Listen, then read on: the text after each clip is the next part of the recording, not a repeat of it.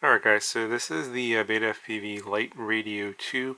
You guys have probably seen some postings on this uh, Facebook, Instagram, various other places. I posted a photo of this a long time ago on my Instagram. I've had this for a while and I've been using it on and off. Um, it is a beginner radio. It's not meant for uh, someone that's been using a traditional transmitter and replacing it with this. is um, it's hobby grade. It's probably low end budget hobby grade. Obviously for thirty dollars, there's not much I can't say to not recommend this because it does have real gimbals. These are pretty good. There's a little bit of jitter, a little bit of dead zone. It's barely noticeable, but it's a real gimbal unlike a lot of other transmitters in this price range, in the $30 price range. They're all like, you know, um, game style uh, controller joysticks and they're pretty bad with a really huge dead zone. This is not the case. The gimbals are not super smooth. They're a little on the rough side. Um, but the travel is predictable. The movements are predictable. I mean, you can kind of hear, you know, it makes, it does make a little bit of strange noise. It's not super smooth. It's not hall, hall effect gimbals or anything like that. This is 30 bucks here, so keep that in mind. It's very light.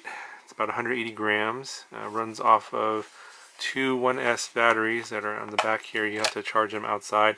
So mine came with uh, 300 milliamp hour batteries with the um, BT 2.0 connector, but one of them, one of the batteries was dead, so I swapped this out for PH 2.0 batteries and just uses a looks like a 2S servo connector or balance lead connector there. Um, so I just swapped that to PH uh, to the BT 2.0 connectors for PH 2.0 connectors because uh, one of my BT 2.0 batteries was no was not working out of the box.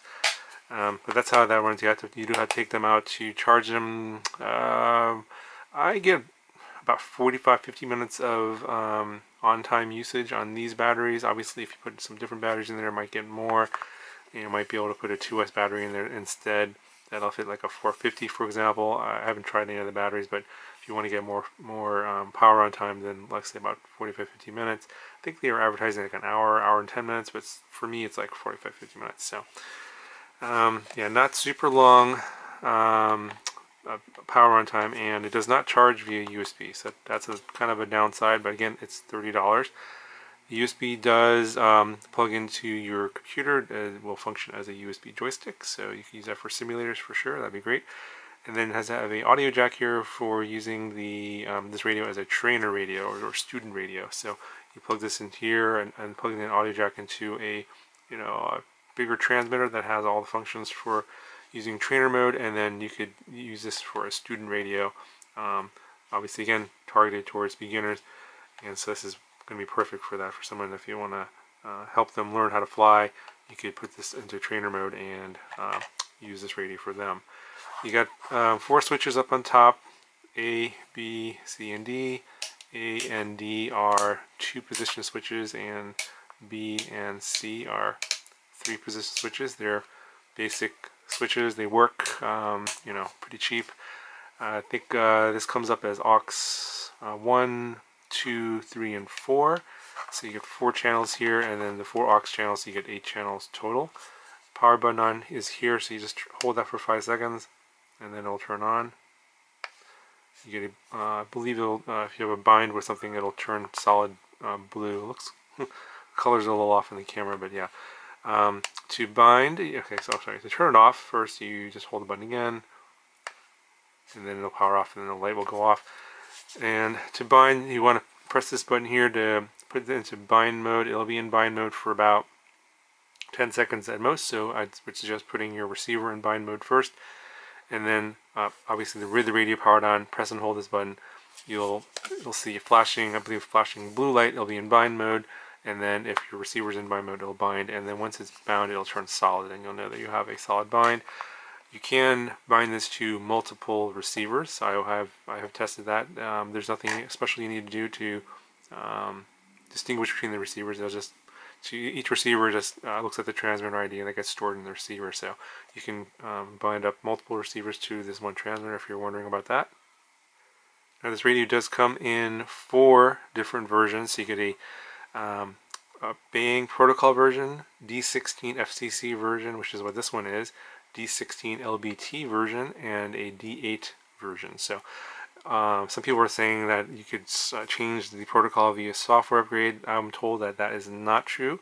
There's some hardware inside here that differentiates the different versions. So whichever version you get, that you're pretty much stuck with that.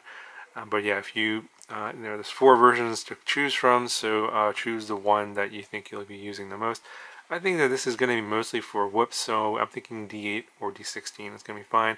Obviously, if you have uh, one of those um, silverware whoops that use the Bayang protocol, then you're going to get the Bayang version. Does come in mode 2, like I you see here, and also mode 1 with the throttle on the right side. Um, but uh, as of the time of this recording, I don't believe any mode 1 versions are currently for sale. It is $30 right now. I think the regular price is $40. I don't know if they're going to be making the price $40 later, but if you want to get one now, it is $30. Alright, so the last thing I want to talk about is the OpenTX compatibility.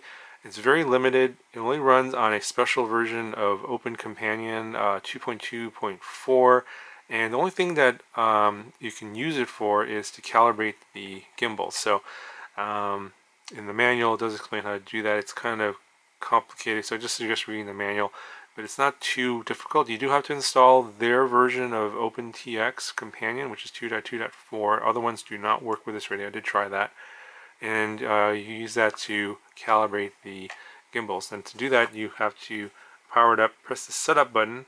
That will put this into a special mode where you can, when you plug it into your computer, it doesn't look like a joystick, basically. So then it will connect to that OpenTX companion. You open up the radio, and then you can adjust the gimbal stick calibration. Because on my, when it came out of the box, all the other sticks, when they were centered, were fine, except for the roll axis. Roll on mine was off. It was like 1525 and needs to obviously be around 1500 so you have to you know, calibrate that in the OpenTX companion that's provided for this radio and that's the only thing that that OpenTX companion does for this radio beyond that there's nothing else at least at the time of the recording of this video who knows additional functions may be provided later but right now that's all it does Okay, so yeah, that's about that's about it for this uh, video. I'm gonna go ahead and show you flight footage, of course, of me flying it at the end.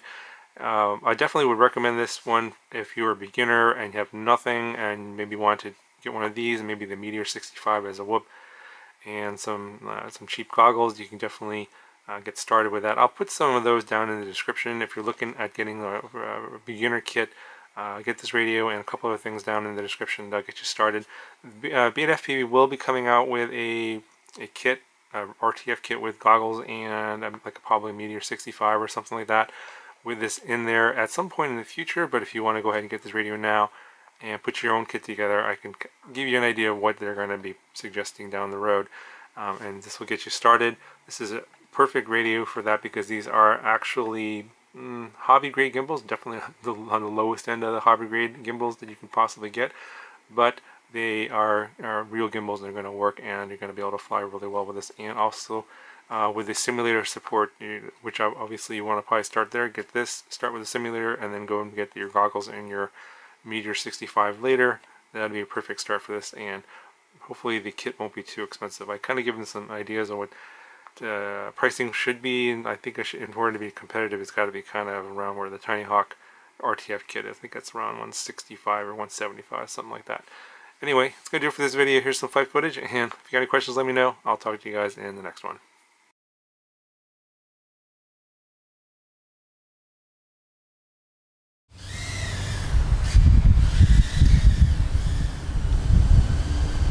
Alright, so in a parking garage, see how far I can go down to the other end. You can see the RSSI in the lower right. The other end of the garage here is 100 meters away.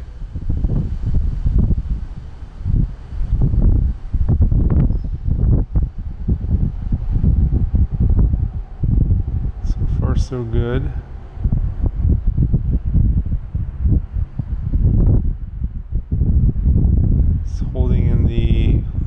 40s down here. Uh, let's see if I can go around to the other side of the garage here with all the concrete in the way.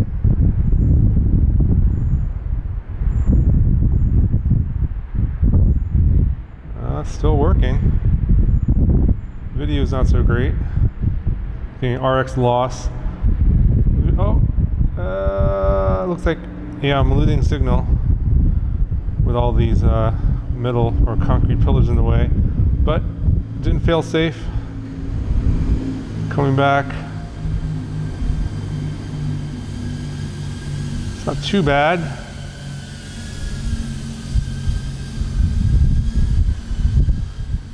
So I think if I was in an open area, I'd probably get a little bit better range, but I'm getting about 100 meters here. That's the max distance to the end of the parking garage. Uh, with a uh, clear line of sight here. When I get the uh, concrete pillars in the way, then my signal